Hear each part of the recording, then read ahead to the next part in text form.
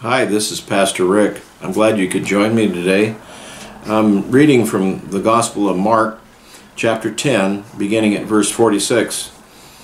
And they came to Jericho, and as he went out of Jericho with his disciples and a great number of people, blind Bartimaeus, the son of Timaeus, sat by the highway side begging.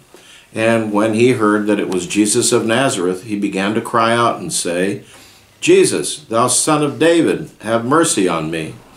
And many charged him that he should hold his peace.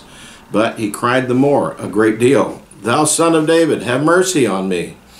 And Jesus stood still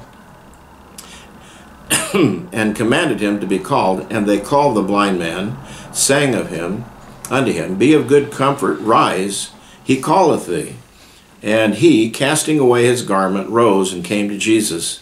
And Jesus answered and said unto him, What wilt thou that I should do unto thee? The blind man said unto him, Lord, that I might receive my sight.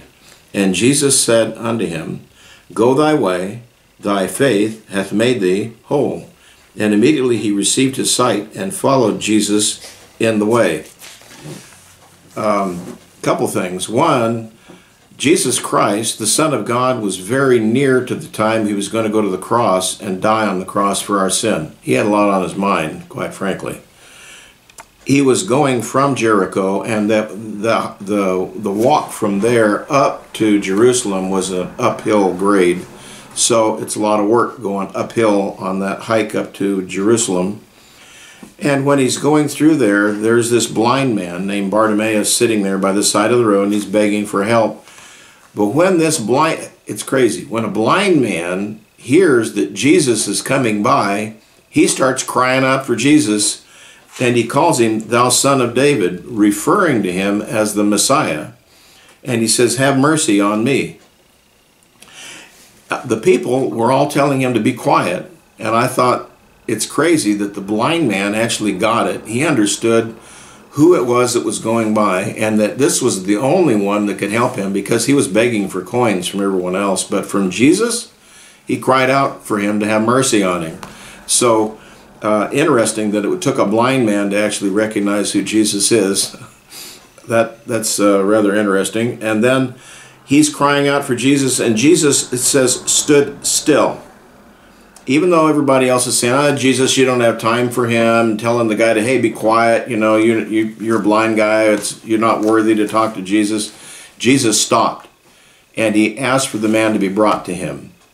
I want you to know something. Whatever your situation, Jesus is not too busy for you. No matter what he's involved in doing in this world, and there's a lot going on, when you cry out to him, no matter who you are, or how little you think you are, or what other people have said about you, Jesus cares about you. He knows you. He'll stop doing what he's doing, listen to you, and meet you at your point of need. That is awesome.